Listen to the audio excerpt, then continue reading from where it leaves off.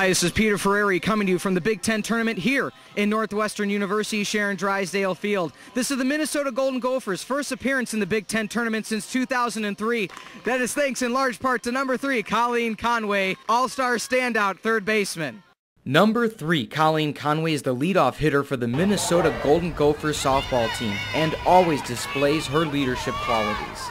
Conway has played three different positions in all three of her seasons. She has played second base her freshman year, shortstop her sophomore year, and now third base her junior year.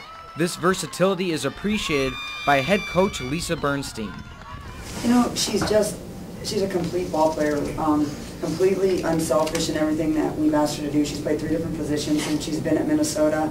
Um, we've converted her over from the right side to the left side, and every single time we throw something new at her, she's like, okay, teach me, and, and I'll work hard, and I'll work with the right attitude and the right approach. And, you know, it, it just kind of, it, it, emulates from her, and people follow her lead. Um, she's very well respected. She's one of our captains, and um, she's a pleasure to coach.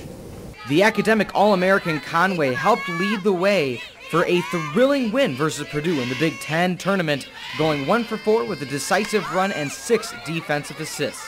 You know, it's great. I personally have never been here, and I don't really think any of the girls on our team have been here in the past four years that they've been here. So first of all, to be here is just a great achievement for all of us. And we set a goal at the beginning of the year to be top five in the Big Ten, and we finished fourth. So we surpassed our goal, which is so happy, and I'm just so glad to be here, and especially to get the one under our belts. Seeing that Conway is only a junior, the Golden Gophers have much to look forward to next season with such a great veteran presence at the top of their lineup. You know, I'm just going to keep preaching the same thing. Work hard. Um, we want to get back here again next year, and we just got to keep putting the ball in play, making the defense make mistakes, playing good defense behind our pitchers, and just keep working hard, keep that blue-collar ethic, and the balls will drop for you.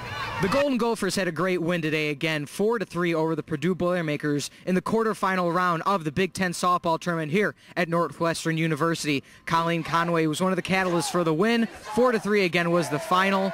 Colleen named third team All Big Ten Player of the Year. Again, Peter Ferreri here for ICBSportsChicago.com.